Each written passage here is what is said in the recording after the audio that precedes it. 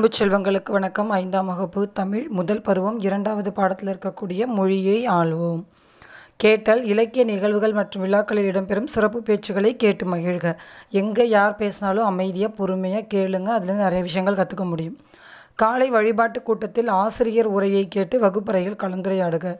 ஒவ்வொரு நாளும் வகுப்பறை என்ன பண்ணோம் அப்படின்னு சொன்னால் காலைல ப்ரேயர் முடிஞ்சதுக்கப்புறம் பிரேக் டைமில் நம்ம பேசிக்கும் பொழுது டீச்சர் வந்து இன்றைக்கி இந்த விஷயத்தை பற்றி ப்ரேயரில் சொன்னாங்க. அப்படின்னு சொல்லி அதை பற்றி நீங்கள் என்ன பண்ணணும்? இன்னும் கொஞ்சம் பேசணும். பேசுதல். நமது கல்வி உயர்வுக்காக பாடுபட்ட தலைவர்கள் பற்றி அறிந்து வந்து பேசுக. காமராசர் இந்த மாதிரி இருக்கிறவங்க தலைவர்கள் இருப்பாங்க இல்லையா? அவங்கள பற்றி பேசுங்க. கல்வி சிறந்த தமிழ்நாடு என்ற தலைப்பில் உன் சொந்த நடையில் பேசுக. கல்வியில் சிறந்தது நம்மளோட தமிழ்நாடு தான் அப்படிங்கிற மாதிரி பேசுங்க. படித்தல் பாருங்கள் செய்யுளை பொருள் விளங்க படித்து காட்டுக. அது ரொம்ப ரொம்ப முக்கியம். புத்தக பூங்கத்து நூலில் எழுதுதல் சொல்ல கேட்டு எழுதுக. கலர் நிலம் கற்றவர் மறுமை தமிழாசிரியர் நல்வழி உயிர் நாடி தொலைக்காட்சி அறிவு தெளிவு வளம் பெறும் வளர்ச்சி. இரண்டு சொற்களை தொடரில் அமைத்து எழுதுக. முன்னேற்றம் நமது நாட்டின் முன்னேற்றம் மாணவர்கள் கையில் உள்ளது. இரண்டாவது பாருங்கள் புதுமை.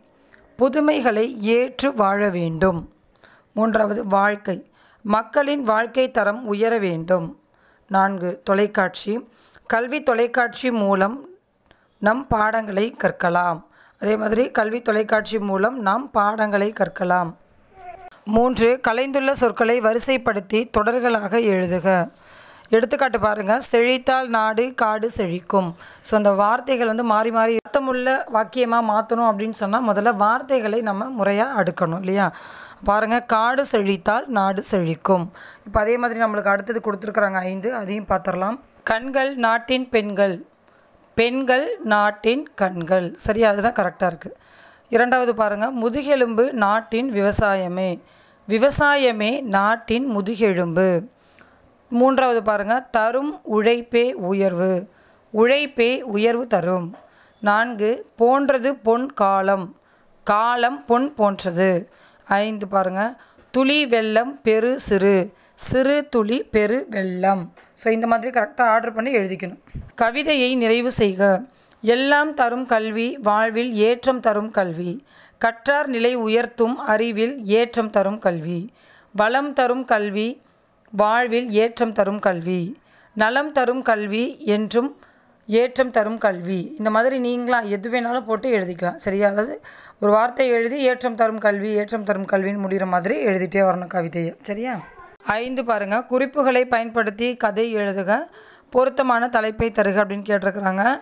குறிப்புகள் பாருங்கள் நான்கு வணிகர்கள் பஞ்சு விற்றல் எலி தொல்லையால் பூனை வாங்குதல் பூனையின் ஒவ்வொரு காலையும் ஒருவர் பாதுகாத்தல் தண்டை கொலுசு அணிவித்தல் கால்களுக்கு. பூனையின் காலில் புண் ஏற்படுதல்.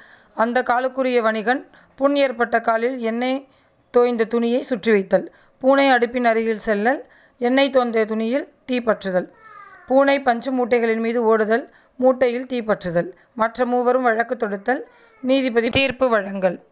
அடிப்பட்ட காலால் பூனை எப்படி ஓடும் என கேட்டல். மற்ற மூன்று கால்களின் துணையின்றி ஓட இயலாது என கூறல்.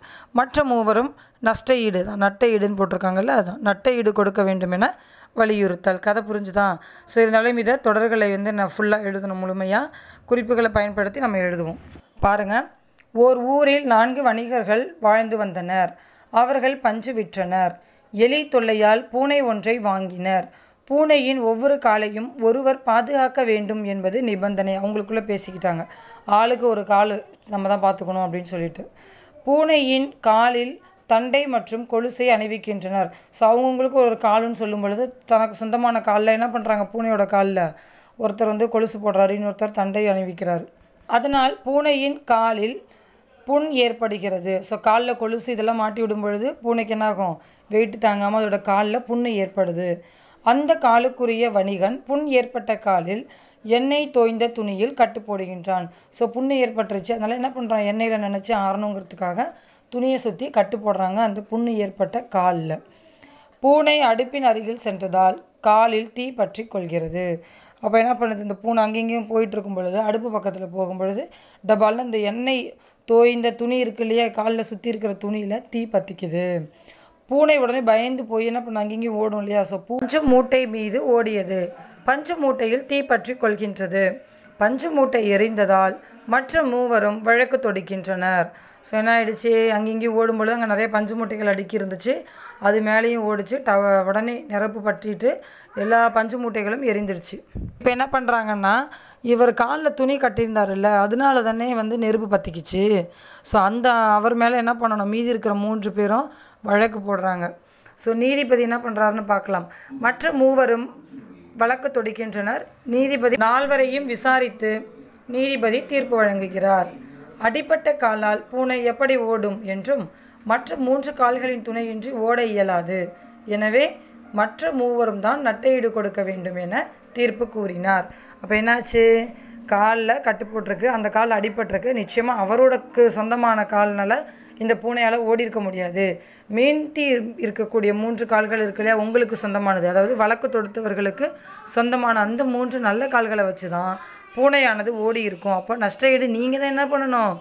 அந்த இன்னொரு வியாபாரி வணிகர் இருக்கார் இல்லையா? அவருக்கு கொடுக்கணும் அப்படின்னு சொல்கிறாங்க சரியா? தலைப்பு இதுக்கு என்ன வைக்கலாம் அப்படின்னா சரியான தீர்ப்பு. நன்றி.